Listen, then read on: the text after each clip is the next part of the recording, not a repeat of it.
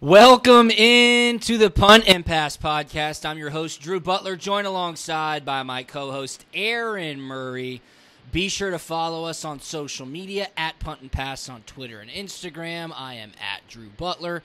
Aaron is at Aaron Murray 11 and head on over to puntandpass.com for everything that you need to stay up to date in the world of college football. It's got our YouTube page, which is blowing up. I had somebody, Aaron, comment said, I can't believe you guys only have 200 subscribers. It's such a great YouTube channel. I agreed with him. I said, You're totally right. Two handsome guys, two very successful, handsome guys talking about college football. Why wouldn't it blow up? But we appreciate everybody checking it out. Puntandpass.com. It's got our blog up there, Punt, Pass, and Pick, our merchandise page and everywhere the podcast is available. What a crazy week it's been. Wow, it doesn't seem like the craziness is going to stop anytime soon. And Aaron, we're going to rock and roll heading into this weekend. It's Georgia Florida week. That's right. Obviously, we're an SEC centric podcast, and this game should dominate most of the headlines throughout the weekend. Of course, Clemson visits Notre Dame. That's a top five matchup. The Pac 12 is back. The MAC kicked off last night. Buddy, college football is in full swing. We're going to dive all into it. You're in LA, though, on the West Coast. What's going on, my man? Yeah, man. Uh, I got the I actually got a Friday night action, which I'm kind of pumped about. I had San Jose State at San Diego State. Good game. Two undefeated teams in the uh, Mountain West. San Diego State is is freaking awesome, man. Their defense is legit. They got some running backs back there. I had them last week as well. I mean, they got five dudes that could all start. Yeah. They just rotate them all in. This kid named Greg Bell, who's a transfer in, is uh, he, he's a stud. So I'm excited that I got the red eye back right after the game, man. I'm, I'm taking off like at 11 50 at night, land at 7:30 in the morning on Saturday. Gonna pick up Sharon, the baby, and the dogs. Love it. Go to uh, go to the lake. Yes. Eat, drink. Yes. And watch Georgia, Florida, and some great football. So I'm like, I get to enjoy a nice weekend of football. So I'm, I can't complain too too much. And it looks like the weather's gonna be nice. So and then maybe a little golf on Sunday. Come on now. This is this is heaven. Dial it up. get away from all this crazy. I know. Having to deal with this entire week. So hopefully at least the uh, all the we're not we're not an election show or you know deal with the politics, but yes, hopefully a decision can at least be made before the weekend, so we don't have to talk about it and we can just focus on watching football. So we're not having to do both. Amen. Amen. Yeah, it's supposed to be fantastic weather. You will definitely enjoy the lake and some golf and some family and some libations this weekend for sure. A huge Georgia Florida game. Again, we're going to dive into it later on in the show. I'm really interested to get your thoughts. I mean, I haven't talked to you much of the week. Everybody that listens to Punt and Pass knows your relationship with Dan Mullen, knows how much you love Kyle Trask. It's just going to be really interesting. So I'm fired up. We'll get to that in a bit. You mentioned you've got your Friday night game. San Jose State at San Diego State. A buddy of mine, Elijah Fisher, is San Jose State's punter. So if he pins him inside the five, give him a little hat tip. His dad, Brett Fisher, go. is the PT trainer for the Arizona Cardinals. Just an awesome family and a rock solid kid. Friday night, though, another good game which comes on after yours. BYU, Boise State, two unbeaten's as well. So we've got action Friday through Sunday in the NFL as well. Let's touch on the Pac 12, though, real quick. They're back. Yeah, it's November 7th when this kicks off. Just short answer yes or no. Is a Pac 12 team even going to compete for a college football playoff spot? As of this week, they only have two teams inside the top 25 Oregon at 12, USC at 20. And I'll just tell you right now, I would put USC on upset watch this weekend facing oh, Arizona State. See, I think I think if there's a team to do it this year, it would be USC. I like their quarterback Slovis. They got a bunch of good receivers back from last year. They got most of their defense, so they, they're you know with a season that's been as unique as it is, and the fact they're starting so late, and the uncertainty if they're even going to make it. You need guys with experience. You need a quarterback with experience, and you look at that conference, and, and really USC is the only one that kind of checks off those boxes. So I think they're at an advantage to at least start the season off on a strong note. Um, you know, who knows? I mean, we you know, you look at the SEC. Who who thought uh, uh Arkansas was going to be a good team this yeah, year? Who yeah, great point. That Ole Miss would be putting up some crazy points, and you know, it just this is a weird year. You don't know until you see these guys get on the field this weekend. I'm interested to see what the Pac-12 looks like, but at least looking at it right now, two days out, I think to me USC has the most advantage. Like I said, because of who they have returning, to at least have some success early on the season and, and get that ball rolling. But I don't know if a team out of that conference is going to make it. I, I, don't see it right now. I don't see anyone that's going to go undefeated. Um, and I think that's what it's going to take. It's going to take an undefeated Pac 12 team to be able to get into the playoff right now. Yeah, absolutely. And USC hosts Arizona State. The other top game, which I believe is on ESPN Saturday night, is Stanford heading to Oregon. Yep. That game's in Eugene. The weather looks kind of dicey, like 40s and raining. Um, but I like Jayden Daniels, and that's Arizona State's QB. And, and you and I talked about it on our Monday night show, Campus Lore Live. With such a late start, such a long hiatus between playing competitive football against somebody else, expect sloppy football, expect, expect bad tackling, expect tons of turnovers. And when you've got a very fast, very mobile QB who can make something out of nothing, I think Jayden Daniels could present USC with some issues this weekend. But you said it best. You just want to see what they look like. I mean, Yeah. who knows what you're going to get from the Pac 12 today, Thursday, November the 5th. Let's reassess next week. Let's kind of watch what happens this weekend, Aaron, and we'll dive a bit more into the Pac 12 next week. Um, let's just head right into this weekend then. I mean, it's Georgia, Florida. So much has happened in the past five days regarding this specific game. We'll talk about it first on Punt, Pass, and Pick, but let's set the stage. Of course, Florida gets into the huge brawl versus Missouri. Who's going to get suspended? Is Mullen going to get fined or suspended? Georgia has tons of injuries on the defensive side. Richard LeCounte gets in an accident. Thankfully, he's out of the hospital, but he's not going to play. Tons of question marks, tons of rumors. People were saying D'Wan Mathis was going to put his name in the transfer portal. And of course, you still got to play the game. Number eight, Florida, taking on number five, Georgia, in Jacksonville. 3:30 game, SEC on CBS. And Aaron, the dogs are a three and a half point favorite. The total's 52 and a half. There's just so many question marks here. I'd love to get your original thoughts just on the state of both programs heading into the game. They both have a loss. Clearly, as it stands now, the winner of this game is going to go to the SEC championship. Yeah, winner of this game goes to SEC championship game, and you know I think heading into it this week, if you want to you know talk just going back to Monday about the state of each team, I think you'd have to give the nod to Florida. You know they're a little bit healthier. I Yeah. know they got maybe a couple guys suspended. I don't think any major role players or someone that's going to make a significant difference in the football game this weekend. You got an offense led by Kyle Trask, who's thrown 18 touchdowns through four games, which is better than what Joe Burrow did last year at LSU which is crazy through four games. Joe Burrow last year had 17 touchdowns through four games, and you know the the, the mismatches that they're able to create on offense um, with the receivers, with Pitts. You know, who knows how good the defense is? I, I don't think they're very good. I think Missouri last week missed a lot of opportunities, but they still held Missouri to not a lot of points. Uh, so you think the defense is going to be a little bit more encouraged after that. And then Georgia. I mean, what is their identity on offense? They're running football team. Is that enough to hang? Obviously, it wasn't against Alabama. Alabama, to me, still a, a better football team in Florida, but it wasn't enough to keep up with those boys and what they were doing on offense, and that was with a healthy Georgia defense. Mm-hmm. So, you know, the fact that Georgia is banged up defensively, LeCounte's not playing, offense has been struggling. To me, all signs point to Florida being in a better state.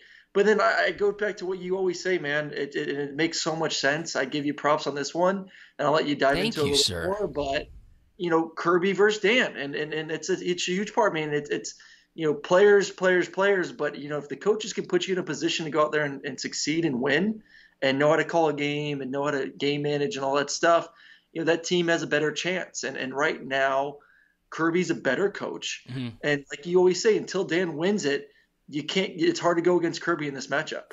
Yeah, I mean, so many times. And if you're a Georgia fan, or if you're a Florida fan, or if you're another SEC team fan and you just watch this game because it's such a good game when this rivalry happens, you know that so often in this matchup, the better team does not always win. The healthier team does not always win. That's not how this works. And Aaron, you and I played a bunch of times. And I played when Coach Richt and Urban Meyer were there, and then you when Will Muschamp took over. It's real. I mean, everybody knew that Coach Richt had a hard time with Urban Meyer. Coach Richt knew it. We knew it as Coach Richt's players. All the fans knew it when you head down to Jacksonville. You could be way higher ranked than Florida. You could be undefeated. Florida could have two losses. But Urban Meyer knew how to beat Coach Richt. And guess what? When he left, Aaron Murray knew how to beat Will Muschamp. Will Muschamp knew it. Aaron, you knew it. All the fans in the stands knew it. Those things are real. And when I say they're real, they are real when you prepare for the game. They're real when you travel to the game. They're real when you're in the locker room before the game. Hey, maybe this season hasn't gone as we've hoped or thought It will. But when this ball gets kicked off, we know that we have a competitive and mental advantage because we've done it so many times in the past, regardless of Georgia's injuries and the attrition on the defensive side of the ball and the questions on offense. Kirby, I could imagine. I don't know. I haven't been to practice. I could imagine he has this calmness about him. He has this confidence about him. There's a certain stillness to game planning for this game that permeates throughout practice during the week that permeates throughout the roster where these guys know, oh, damn, this game plan's sweet. Oh, okay, well, we see this. Man, we can do exactly what we need to do when this situation is presented to us. That's just what I think, Aaron. And I think you could attest to that. And I mentioned it, I was on SEC radio with you yesterday. It's like when a kid thinks it's his day to beat his dad at pickup basketball. And the dad kind of goes, oh, oh, really? Okay. bring it out here. And then he stomps on him and wins 11 nothing or 21 to nothing. It's very much like what Kirby is dealing with with Nick Saban. And before the Alabama game, I said the exact same thing. I want to pick Georgia. I hope Georgia wins. But until Kirby gets over the Nick Saban hump, you go into that game watching with one eye closed. So that's just where I stand right now. We'll get to our prediction and our pick in a little bit. But a bit of news broke earlier this week. It was yesterday. I saw Anthony Dasher tweet about it on UGAsports.com. The players only meeting was called by Monty Rice, nice. the baller linebacker for the University of Georgia. Now, players only meeting could go one of two ways. One, you got to get the team right. Two, things are going bad. Three, maybe coach just got fired. You need to rally the troops. You need to send a message within the locker room, get the coaches out, air out your grievances, kind of Festivus style, get ready for a big matchup. I want to ask you your thoughts because one of the more famous players only meetings in recent Georgia history 2012. Shawn Williams called a players only meeting. Georgia kind of had been middling up to that point in the season, and you and I both played with Sean. That dude wears his emotions on his sleeve. He doesn't speak too much, but when he does, buddy, he brings it. And it seemed like, and I wasn't there, that was my rookie season in the league. It seemed like that really lit a fire under that team's ass. Talk about that talk about the importance of Monty Rice calling this players only meeting yesterday. Well, it's huge, and and listen, this team right now has everything in front of them. Still, it's not like they're reeling and you know coming off some losses and and trying to figure out who they are and yeah. their identity. This is a good football team. This is a top five team in the country. This is a team that has a chance to, if they get healthy on the defense of the football, continue to work on the offense, could round two versus Alabama make that thing close and, and possibly win it and, and, and have a chance of playing the playoffs. So this is a great football team. It's just a refocus. Middle of the season, boys, let's just go over what our goals are. Our goals are to to win the East. And right now, this weekend, this game decides, like you said earlier, Drew, who is going to win the East. Most likely. Winner of this yeah. game plays Alabama. So let's just refocus ourselves, understand what's on the line, not put too much pressure on ourselves because at the end of the day, you don't want guys to be uptight. You don't want guys coming in there with tight butts, yep. worried about making mistakes. Um, but it's just more of a let's let's let's if you can do more this week in preparation, if you can study a little bit more film, if you can get a couple more reps after practice, if you can do this and that and that in anticipation of this game, damn it, you better do it because we're going to need all hands on deck this week. We're going to need a performance. Yes. And not only if we win this game, if we win it and win it in dominant fashion, we send a message that you know people are sleeping on us. People are saying, "Hey, they're banged up defensively. Hey, their offense isn't good." If you beat Florida this weekend, who, as we both said, right now should win based on personnel this game, yeah, and health of the football team and the way they're playing offensively, you send a message throughout college football and throughout the SEC that hey, we're we're legit, and we ain't, we ain't gonna just fall over and die yeah. just because things are a little bit tough right now.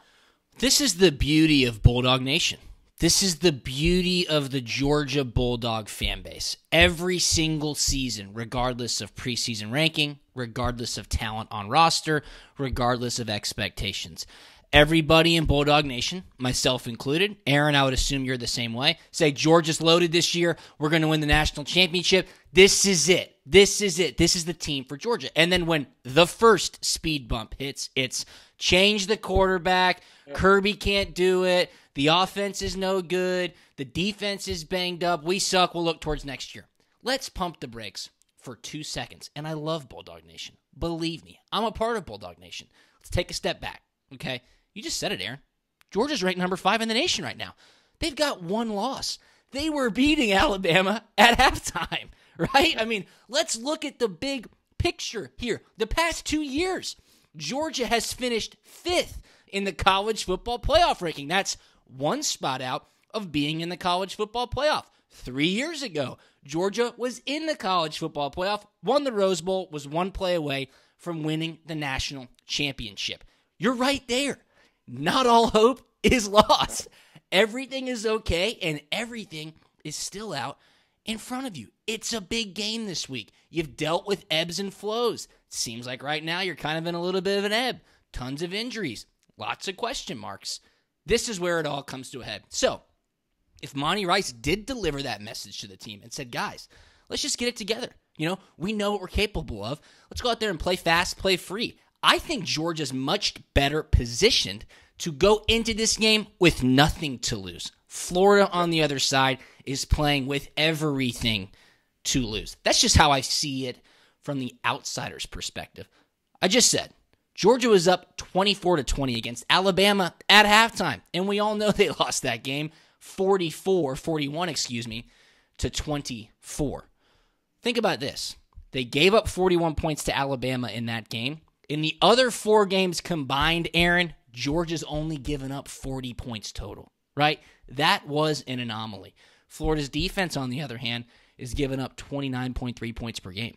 Florida's defense is ranked 12th against the pass in the SEC. Florida's defense is not that good. I think Todd Monken knows if we can establish the run early, win the line of scrimmage, push Florida's defensive line around, and then present some passing opportunities, work Stetson into the game plan, you could have an opportunity. I do have a statistic for you there, Aaron, and it worries me a little bit.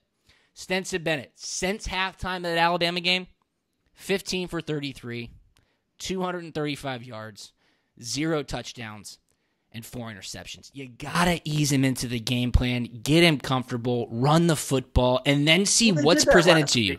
Yeah, So they did. They did. Into it, him, but you know, I think for for him, I want to see because everyone keeps asking me, "Oh, is it because he's only five eleven? He's getting all these balls tips, and, and obviously it doesn't help." But I Is he wanna see him five eleven? Come on, Murray. Whatever he is. 5'10", Okay. 5'11". Um, okay. I just want to see him move his feet around the pocket a little more. I mean, he sits in the back of the pocket, and if he's going to throw, he's like a statue back there. he, like he anchors you down wa- like he's six four. if you watch Russell Wilson, if you watch Drew Brees, dude, they are moving nonstop Yes. in the pocket. They're finding the throwing lane. They're changing arm angles. They're not just sitting back there like a statue, unless they're throwing the ball deep downfield. Because the way your shoulders are tilted, the way the ball's coming out, it's not going to get tipped. But you know, balls from five to 15 yards, they're moving, they're grooving, they're trying to find that lane, and then they're find it. delivering a strike. And to me, when he's throwing those routes, he's just he's just standing still in the pocket and it just allows the defenders to know where you're throwing. They know where the back of the, you know, when you hit your back step, where you're going to be. And if they can't get to you, they're just going to put your hands up. Yeah. So he needs to move the pocket a little bit better. That would assist him in not getting the balls batted.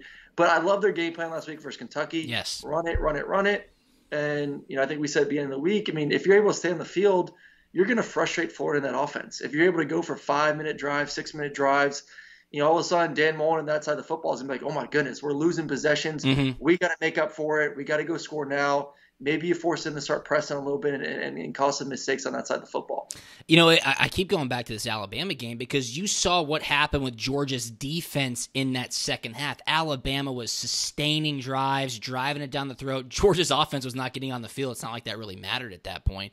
But the defense was on the field for so long, and then the offense would be out there three and out or a turnover, and the defense would have to get back out. You just that's not how you play football game. That's not complementary football. And of course, the defense is going to get worn out and tired if Georgia can sustain those drives and keep Florida's offense off the field and make Dan Mullen play call in an urgent manner, then I think Kirby says, Dan Lanning, defensive coordinator, we got them exactly where we want them. I'm worried about Kyle Pitts, tight end, All American, first round draft pick, total stud. I'm worried about him because I thought Richard LeCounte, physical safety, senior defensive leader, was kind of going to be the guy to spy him. But he's out. Kyle Pitts presumably could be running wild. He worries me a lot more than Kadarius Toney. Toney, of course, is the running back who is elusive out of the backfield, very much more a threat as a receiving running back than a rushing running back.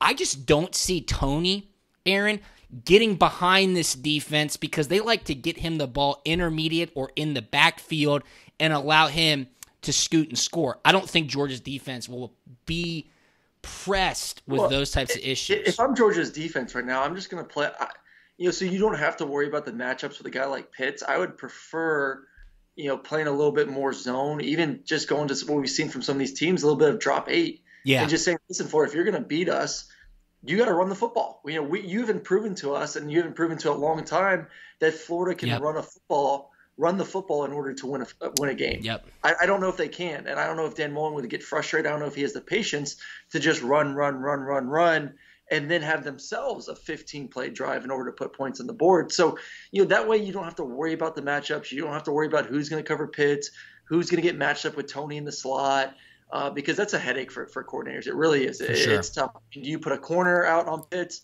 but then you lose a corner that can then cover Toney? Do you put a linebacker or a safety on Pitts, which I would not do at all, especially with backup safeties? So play a little bit more zone, keep things in front of you. Don't allow the explosive play. I mean, that's when Alabama started getting going. When Alabama started hitting some explosive plays, yep. and they're able to score in a minute, two minutes, it's devastating. You know, like, damn, man, we just gave them a touchdown that fast. Don't do it. Don't put yourself in that situation. Make them earn it. Don't let Pitts take over the football game. Don't let Kadarius Toney somehow sneak one by you. Uh, and like I said, see if they can run the football in order to put points on the board. I totally agree. It's going to be fascinating. I, I, really do because I think Georgia has the personnel still, and Kirby seems optimistic that Jordan Davis, big man in the middle, defensive tackle, is going to play, which I think would be huge again to stop the run, or to drop eight and get pressure with three on Kyle Trask, try to make him make quick decisions. That's what Georgia is going to have to do. And I heard it this morning. In the past 14 games in this rivalry, Aaron, the team that runs the ball for more yardage wins the game. That's it. I mean, yeah. that's it. I mean, it's so huge. And Georgia is better positioned with that scenario. There's no doubt about it. Special teams wise, Evan McPherson, Florida's place kicker, I think is the best kicker in the nation. This dude can bang it down from anywhere on the field. But on a field position aspect, Jake Camarda, I, th- I honestly say this with zero bias. I think Jake Camarda is the most improved player on Georgia's entire roster. The what he's been able to do, pinning opponents inside the 10, 20, five yard line consistently is so huge. A game like this weekend where Florida's offense can score in one play, you better make them go 80 plus yards each time you can. You have to win and find that hidden yardage. I trust Georgia's coverage team. I trust their return team. So I think from a field goal standpoint, might tilt in Florida's favor. Definitely do tilt it in Florida's favor. But from a field position and a coverage and a protection standpoint, you got to give it to Georgia. And that could play yep. huge benefits, pay huge benefits later on in the game. All right, let's get our pick in. We, we've talked about it pretty much all. Um, punt, pass, and pick. I'm, I'm 20. I'm 23 and 17 on the season. You're 20 and 20. So you have a great opportunity to have a good week here, Aaron. Ooh, we need it. Georgia is a three and a half point favorite. The total is 52 and a half. Number eight, Florida, taking on number five, Georgia in Jacksonville. Um, I'm going to take four with the points. I think yeah. Georgia wins this game by a field goal. Ooh, I, I like it. that. I like that half a point right there. Okay. Uh, so for fans listening, I'm not picking Florida. I love it. Just so we can get that clear. I think that's very. I mean, that's why they put the pumping out there that no, Aaron picks Florida. I won't. Uh, make sure you read the entire thing. You listen. I think this is a close football game. Yep. Yeah, I'm not once again, I'm just not confident in Georgia's offense. I think if you ask any fan, they would say the same thing. We're just not confident in Georgia's offense to be able to put up a ton of football, uh, to be able to put up a ton of points. That's why I think this game is going to be super close. Yeah. I think it's going to be extremely competitive. Um, and then I just, you know, you know how much I like Florida's offense, so I think they're able to, they're they're able to put points on the board, mm-hmm. uh, just not enough. I, I, like Georgia to squeak one out, man, just late, late, late in the fourth quarter. Yeah, it'd be great for Jack Podlesny to kind of put a feather in his cap and take over for uh, Colt hero Rodrigo Blankenship Pod with a game-winning field goal, maybe late in the game, maybe last play of the game. Georgia wins by three or two or one, but as Murray said, he wants the points. So he's picking Georgia to win, but he's going to take the three and a half points with Florida. I think that's exactly why Vegas set this number right there, Aaron. It's a great, great number. And Georgia opened as a five point favorite. It bumped up to six in some places, and it's down to three and a half. When I saw that on Sunday, I go, God, that is that is weird. That smells. And last time this happened, Georgia was an eight point favorite against Auburn. And I go, oh my God, that is a horrible line. What do I do when I see a line that just makes zero sense to me and it stinks out loud? And I say, what are these people even thinking in Vegas? I take it and I say, they're smarter than I am. I am smart enough to understand that. So I will lay the three and a half points here. But here is my reasoning. And you said it when we opened up this podcast. I am taking Kirby Smart over Dan Mullen until I'm proved otherwise. And when that fight happened a week ago, and Dan Mullen ran out onto the field with no mask on, shoved a couple of referees out of the way, incited a riot, got his players to fight Mizzou players, throw haymakers, and then came back out of the tunnel and riled up his crowd in the swamp to say, yeah, that's right, we just fought in COVID world. I mean, that's attempted murder in my mind. All right? I sat there and I go, holy shit, you can't take Dan Mullen out of the game for next week. That's Georgia's biggest advantage. Dan Mullen has to be on the sideline, and guess what? He is. He got dinged for 25 grand. He's going to coach this weekend, and for that reason alone, I think Dan Mullen's going to crumble in the moment again against Kirby Smart. Is Florida more talented? I don't know about more talented, but they're certainly more healthy. Okay? Yes. Is Florida's offense very well suited to take advantage of Georgia's defense? I'm not so sure. Is Georgia's offense suited to take advantage of Florida's defense? Again, I'm not so sure. It depends how they're going to attack it at the beginning of the game, what adjustments they make during the game. It's going to come down to turnovers. It's going to come down to field position. Will it come down to special teams? Probably. It's the most important phase of the game yeah, in okay. football. But I think Georgia wins by a touchdown. Okay? I really do. And look what's happened the past two years. Georgia runs out to a huge lead because I think Dan Mullen overcoaches, and these players have to overthink. They don't play fast and free. And if they do that, mistakes happen. Georgia takes advantage. It's going to be a great game. I'll lay the three and a half. I think Georgia wins by four to seven points. All right. Fantastic. Yeah, Take it. the dogs. Next game, we'll stay in the SEC. We can run through these pretty quick. I think this is sort of an intriguing game because South Carolina to me is up one week, down the next. Up one week, down the next, you. and you got red hot Texas A&M heading into Columbia. A&M's a ten point road favorite, and Aaron, I'm just telling you this right now. If Columbia was allowed to have a full stands, and no I would sit there and I go, South Carolina's going to win this game. Yeah.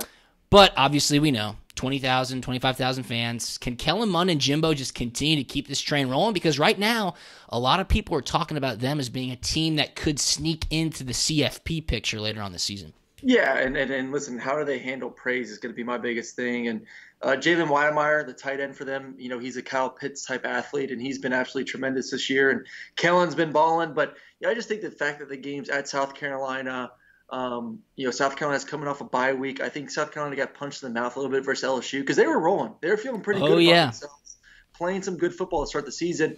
I think they said, "Hey, we're playing T.J. Finley. We got a freshman quarterback." I just think they got smacked. They weren't prepared. They weren't ready. They didn't think they had to go out there and play their A game against LSU because LSU is not good this year. And like I said, they just got they they got caught from behind and then just could never kind of rebound from there. So I think they took the bye week, refocused, uh, and and to me this is not an A and M team still. That is, you know, they're not on the same level as, as Florida. They're not on the same level as Alabama when it comes to offensive production. Um, so that to me, that's why I think this game is going to be a little bit closer than that 10 points and South Carolina, even with limited fans, that's a tough place to play against yep. Sandstrom Rankin. Um, you know, like I said, coming off the bye week, they're going to be a little bit more prepared, a little bit more rested at home. I like South Carolina in this uh, ball game to, uh, uh, you know, with the points. Aaron likes the home dog getting double digits in a in a conference game. I mean, I don't blame you for taking that. I'm just going to roll with Jimbo and Kellen Mond here, and, and wow. for whatever reason, something seems different to me because they were able to back up that victory against Florida with the win over Mississippi State. I know that's not saying much. Well, I know that's not saying much. I can go feel the team right now outside in Mississippi Okay. again, again. Mississippi State scored, you know, what, 20 points in the past four weeks, something like that. So I, I don't think that's. But what? Okay, well, you're not going to tell your grandkids. You're misreading. You're misreading what I'm saying. Okay.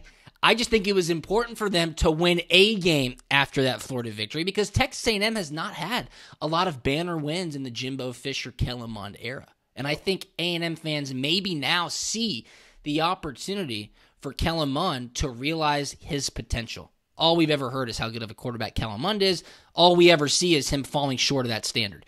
I think A&M wins this game. I think they win it by two touchdowns. I think this might be an opportunity for A&M to sit there and go, you can't hang with us for 60 minutes. So is it close at halftime? Yes. Does A&M pull away in the second half? Maybe a late backdoor cover. Yes, I'll lay the 10. I'll take Texas A&M here. It's going to be a great game. Again, I said it's at night in Columbia. If it was 100% capacity, I'd probably say South Carolina might win this thing outright. Let's stay in the SEC. I think this is a great game. I really do because I think it's two evenly matched teams. Tennessee, Mississippi State. Oh God, no. I mean, are they even televising that game? Uh, yeah, it's on SEC Network for oh. just because there's not there's only four SEC games. you know weekend. what? Hey, I would take. Uh, you know what? SEC Network has never given me the time of day, but if they called me and said, "Drew, we need you to host and broadcast the a uh, the, the Vanderbilt, what is it, Vanderbilt Mississippi State game?" Yeah, I'd probably tell them no. I'd say no, I'm not doing that. You're crazy. Nobody's watching they that. Put on that game that that for them, they're probably like, "Damn it." Damn it, you know what it. though? Honestly, if they called us and said, "Drew, do play by play and Aaron do color for this horrible game that nobody's going to watch," oh, I guarantee you, I guarantee you, we would crush it. I would pump it out on social media. I'd put it up on puntandpass.com, and we would get better ratings through punt and pass than the yep. SEC network could get on their own. Because I didn't even know the game was happening. They've done nothing with it. You should call me. I would say little, no at probably first. a little bit of a shame that they had the game on their network this weekend. You're right. I would say no at first, and then I would allow them to kind of massage the deal and say, Drew, what do you want? We really want you to do it. And then I'd come in and say, let punt and pass take this thing over. Then yeah. we'd really be able to blow yeah. it up. I'm talking about the Tennessee Arkansas game, though, Aaron. Tennessee's a one and a half point favorite. The total's 52 and a half. I just think it's a great game. It's at Arkansas. Yep. Jeremy Pruitt needs a win. Sam Pittman, I'm telling you, this guy can coach. Barry Odom, Kendall Briles, your boy Felipe Franks. Arkansas is not that bad. This will be a good game. I think it's gonna be a great football game. I think all the games besides of it. I mean, the Vanderbilt Mississippi State game will be good because both teams suck, so it'll be at least competitive.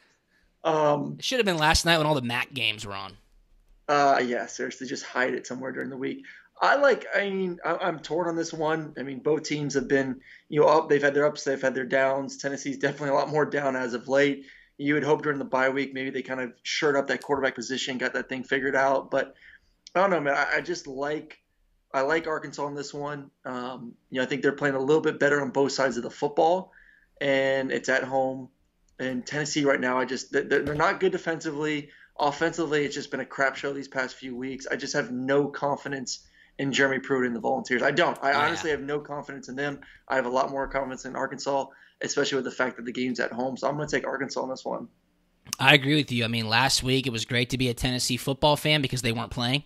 You didn't have to worry about much. You got a weekend off, you could hang. Um, and I saw a funny ass thing last week on Twitter. It was about Halloween, and it was like your scariest college football sentence in four words.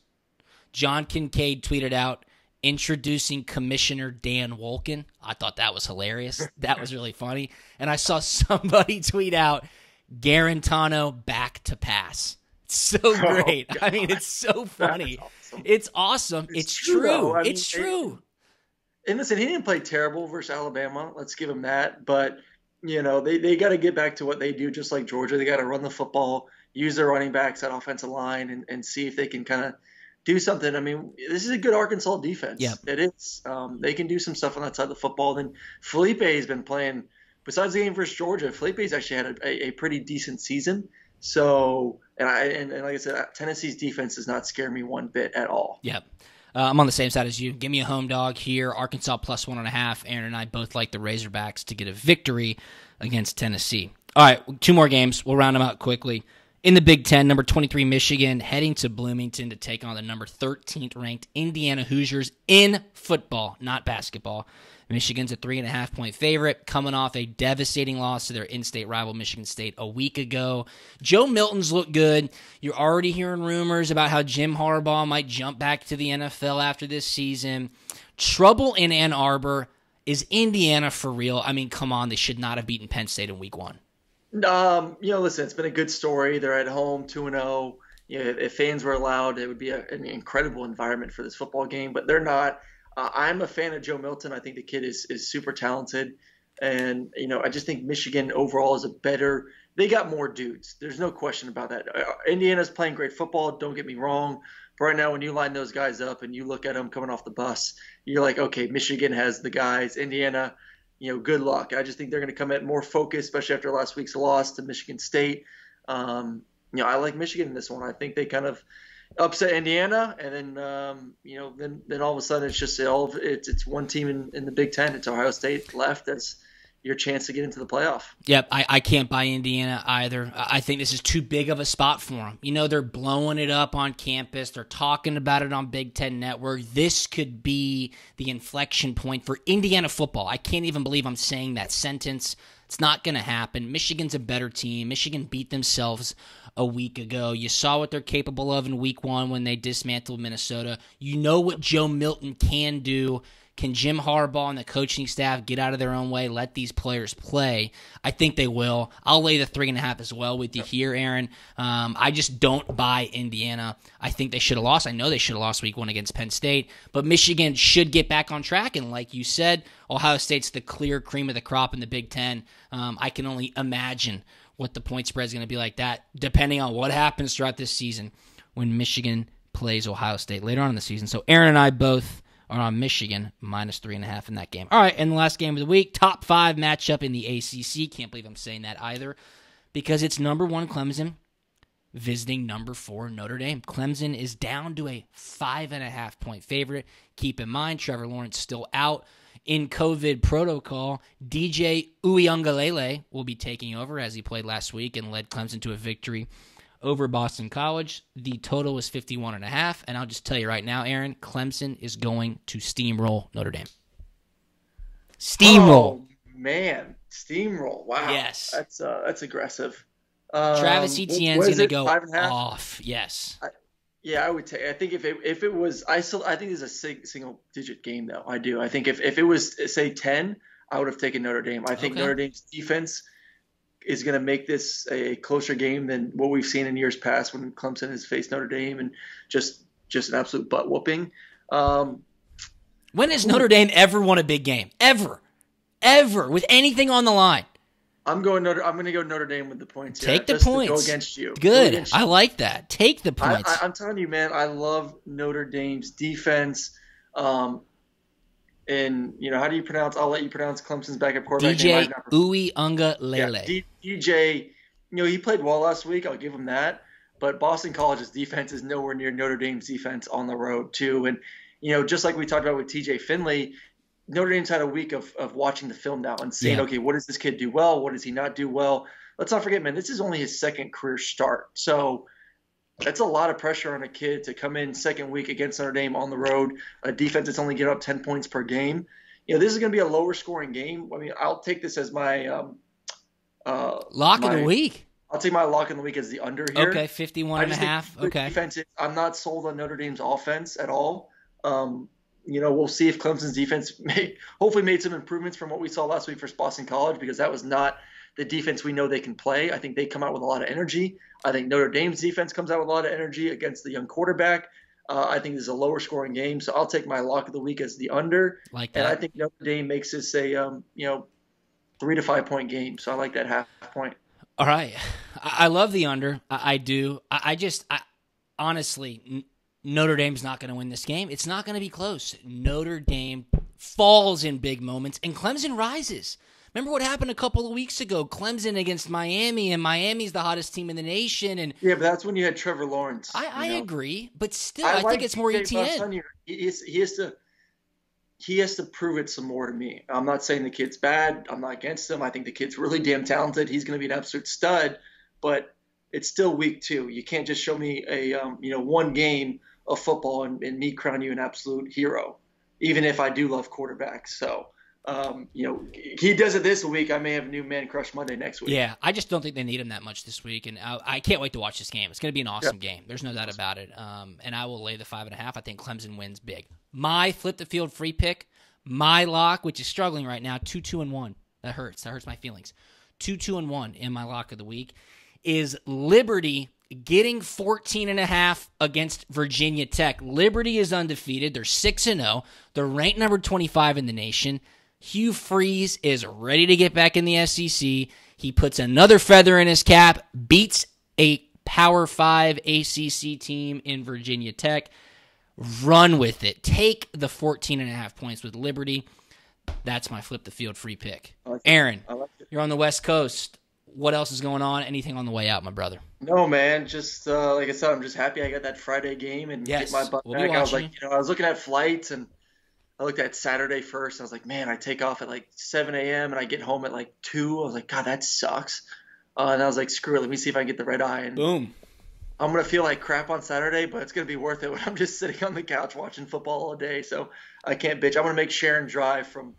Um, Yeah, don't fall Atlanta. I'll make her drive from Atlanta to the uh, to the lake. There you go. Put put your baby mama to work. Sharon, we, we love you here I don't know. at If, I don't, she, we have to take the truck because we have both dogs, the baby. Oh yeah, you got the whole crew. crap.